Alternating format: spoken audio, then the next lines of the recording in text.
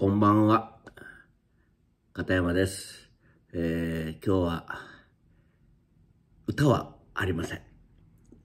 えー、なんか久しぶりに話してみようかなと思う気持ちになったので、えーどんな話になるかというのもよく分かってはいませんけど、あのー最近、あまりあの以前のように、え前向きな言葉をね、えー表で話さなくなったというか、そんな自分が実際いるんです。あの、この心境の変化、それを少し話せたらいいかなと思って動画を撮ってるんですが、あの非常にあの片山自身は能天気でずっとやってきてるんですけど、まあ、これは今も変わりません。あのわかりやすく言うと、ネガティブというか、マイナス思考よりは、どっちかというと、えーポジティブ、まあ、プラス思考で、えー生きていくようには、えーなってるわけですけど、この考え方がね、どうも、なんか違うんじゃないかなと。えーうん、少し感じてる自分がいるんで、こういう話をし始めるんですが、あのー唯一あの人が生きていく上で、おぎゃーと生まれて、で、成長していく過程で決まってることが一つだけあるとは思ってるんです。それは、生まれて、ずっと成長する過程で、まっしぐらに死に向かってるっていうことだけだと思うんですよね。これは、あの、自分の考え方なんで、唯一人生の中で決まってるのは、そのことだけかなと。うん、思います。これはもう以前から感じてたことだ、なんですが、あの、あと他は、もうほとんど決まっていないかなと。うん。あの、人それぞれいろんな才能があったりとか、えーいろんな環境の中で、で、育っていくし、成長もしていくと思うんですが、まあその10代、まあ、幼少期からまた10代があって、まあ、二十歳を超えて大人になっていく、そういう、そして、まあ、結婚したりとか、結婚はしなくても30になって40になって、で、年は重ねていくわけですけど、人それぞれ、あのー一生懸命に生きてきたと。いうことは間違いないわけですよね。なので、自分みたいに 能天気で、えーただ前向きにっていうだけの考え方は少し違うんじゃないかなと、ま最近は感じてるんです。なぜかっていうと、やはりあの、よく言われるのが今を生きるっていう言葉があります。あの、過去があって、未来があって、そして今があると。ね。過去は変わらないよっていう人もいますし、いや、過去は変えられるんだよ。まあ、過去を変えられるっていうのは事実を変えるんじゃなくて、えー過去経験したことを今思うことによって、今、あの、どう過去の出来事が今に役に立ってるかっていう、えー前向きに考えたときに、過去って変えられるんですよね。自分が実は、あの体験は嫌やったって思うことが、実は、本当は嫌、だったっていうことが、経験となって、今振り返ったときに、うん、あ、あの、あれが、あの経験があったからこそ今があるんだって思えるようになったら過去は変えられるんですよね。思いの中で。嫌な思いでも。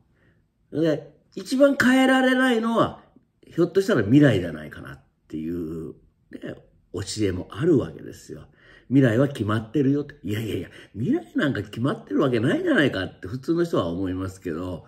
えー、そうじゃなくて、一番、あのー、変えられ、変わらないのは未来であって、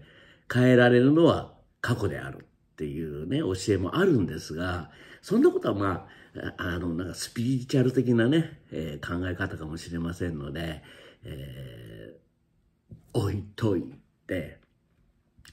あのー、今を生きる、これは本当に大切なことだとは思います。そして、えー、今を真剣に生きないと、あの、明日もないし、明後日もないし、えー、それこそ3年後、5年後もない。だと思います。あのー、ただ、それは、自分の体が元気で、えー、あることが一つは前提なのじゃないのかなって最近はちょっと感じてるんで、能天気に、前向きに生きたらいいよ。あのー、本当に、いい言葉を使おうね。愛してます。ついてる。嬉しい。楽しい。感謝感謝してます。幸せ。ありがとう。許します。ね、人をけなすような言葉は言わないようにしようとか、えー、美しい言葉を使おうやと。仲間内にはよく言っておりますけど、ただ、そん、それ、自分が非常に元気だからそんなことが言える。だったんだなって、よく考えてみれば、あの、す、す体の調子がね、本当に悪い人っているんですよ。いる、いると思います。あの、病気でね、えー、なかなか、えー、治らないとか。で、いろんな人間関係で悩んでて、えー、それは親子の関係もあったり、えー、会社、会社のいろんなね、えー、人間関係であったり、まして、えー、まあ恋人同士の問題でもあったりとか、本当その人しかわからないこと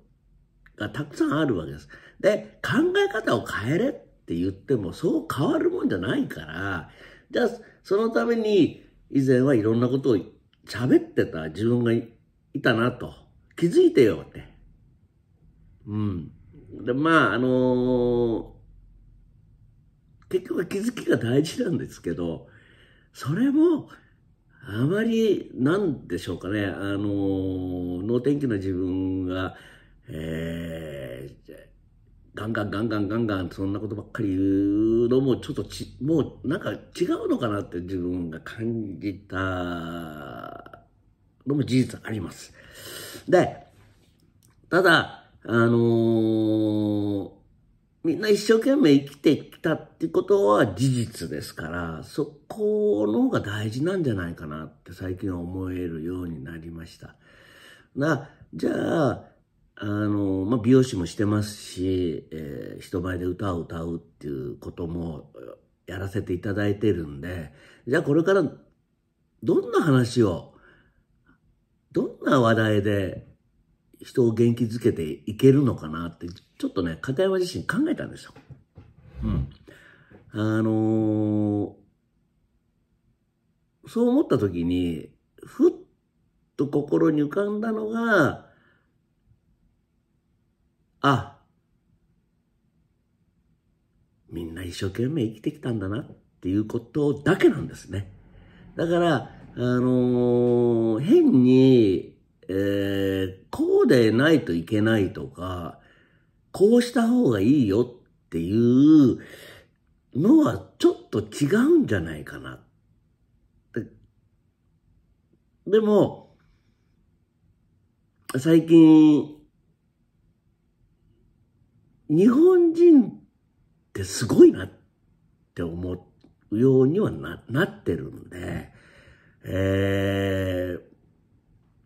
ー、もし自分が話せることというか、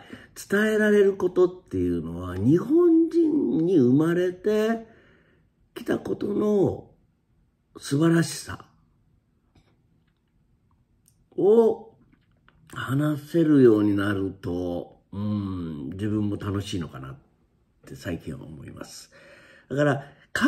え方とか、えー、ものの捉え方、確かに大事なんですけど、そう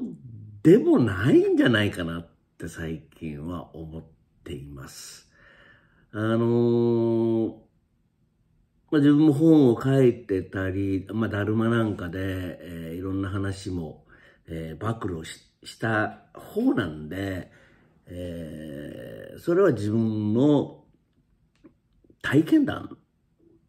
っていうことですよね。でも、それ片山自身だけのことであって、で、そ、それが参考になるならないとか、また関係ないことで、あの、自分の思いが伝えられるのは、もう家族っていうか子供とか孫ぐらいか、あの、たくさん時間をとってコミュニケーションした人以外は無理なんじゃないかなって本当本当に思ってます。あの、人はいろんな捉え方があるんで、ね。で、まあでも、あのー、よく言う本にもいろんな本にも書いてますし、えー、なんか楽しく生きていく一つのコツみたいなものは共通しているものがあるとは思うんですけど、ただ、それだけじゃないですよね。だから、あの、もっと日本人に生まれて、まあ、外国籍でもいいんですけど、この日本でずっと生きてきた人たちは、あの、日本人の良さ、これはもう長い歴史があります。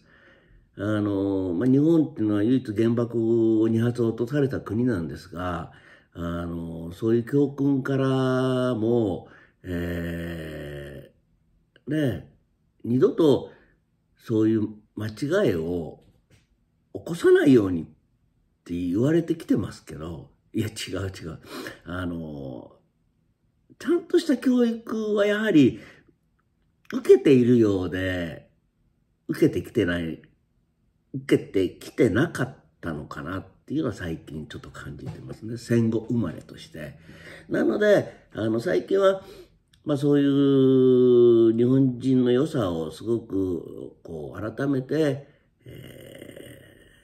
ー、掘り起こすような話もたくさん出てきてますので、そのあたりは、なんか自分の、えー、腑に落ちる話もたくさんあったので、まあできればそういう話もでき、まあ、なんか硬い話になるんでね、えー、まあ限られるような場所で話せたらいいのかなとは思うんですが、あのー、まあ仕事、美容師を長くやってきて、えー、で、技術職なんで職人仇みたいなね、ところもあるんですが、えー、人前で歌をね、楽しく歌わせていただいていますので、あの、また片山企画という、ね、独自の、えー、何ですか、ライブのね、えー、企画をずっと続けてきてるんで、まあ、できればそういう、うん、一つのね、思いっていうか、え、楽しいだけ、楽しいことはすごく大事なんですけど、楽しく生きていくってことすごく大事なんですけど、あの、やっぱり自分に、その人その人が、自分が生きてきたことの、その、凄さを自分で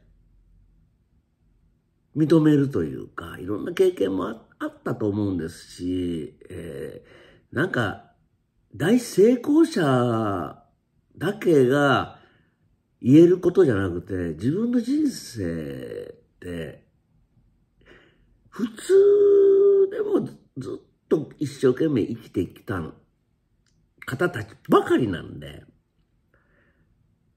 えー、そこにこう気がついて、自分をもっと、なんていうんかな、許してあげるっていうんかな。自分は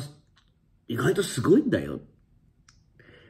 えー、年を取れば取るほど、えー、できないことが増えていくんですが、そういう自分も、あ、可愛いね。人間らしくていいね。えー、そういうふうに思えるようになってくると、えー、なんでしょう、何なんでしょうかね、えー、なんか自分の中で元気が出てくるんじゃないかな。そんなことをちょっと思思ったりしてますね、今。はい。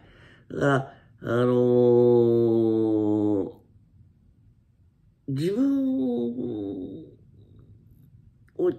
人に応援してもらうんじゃなくて、一番の応援団は自分自身だということになるんだろうと思います。自分を自分で応援する。こういうことが大切なんじゃないかなと思います。はい。あの、それは、もっと人に応援してもらえれば、なお元気も出るかもしれんし、えそれがパワーにも変わるかもしれませんけど、まずは自分自身っていうことも大事なんで、日本人ってどっちかっていうと、謙虚さがあって、え、人のことを気にしながら、協調性ってすごく大切に育てられてきてますし、え、そういう中で、